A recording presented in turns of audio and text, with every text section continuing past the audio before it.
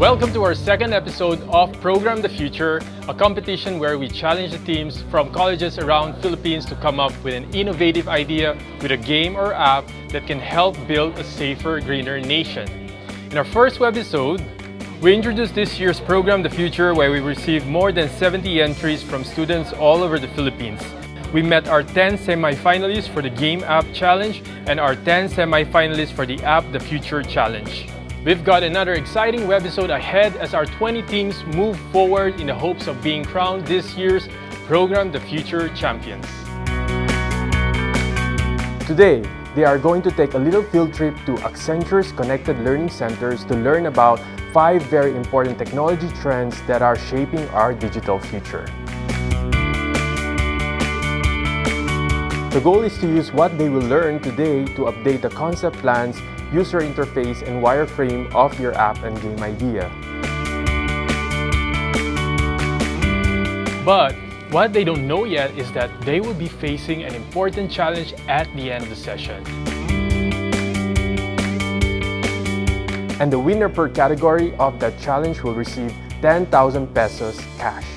Let's take a peek at what's happening at the Connected Learning Centers now.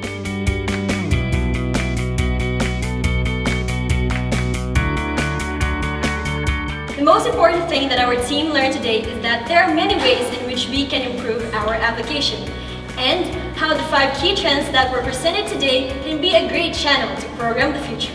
Among the five technology trends that were discussed, the trend that resonated with our team the most is Workforce Reimagined. It constantly amazes our team how much and how rapidly technology advances and to collaborate with machines to create something innovative is something that genuinely interests us in the Internet of Me, the people, they change the way they interact around the world. The end user was placed at the center of every digital experience. Outcome economy shows that a successful company is results-driven.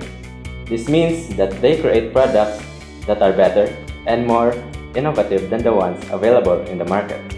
The technology trend that resonates with us the most is intelligent enterprise. It reflects the saying, there's always room for improvement. And having said that, we are truly becoming the future. I was amazed on the platform revolution. We're creating a, a better community of bright ideas to provide solutions to problems of today. The most important thing that our team have learned today is the concept of teamwork. We were exposed in this kind of professional environment wherein we got to work with really great guys and very innovative peers. We learned how valuable technology is to humanity as it creates connections among all of us, providing us with an ecosystem that incubates development and innovation.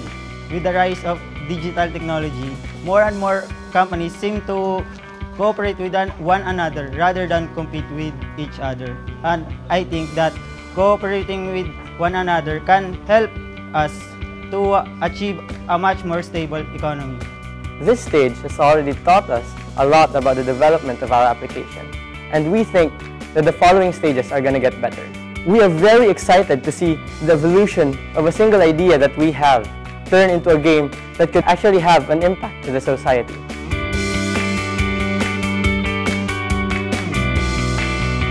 Vote for the most promising app for a chance to win one of 10 awesome prizes.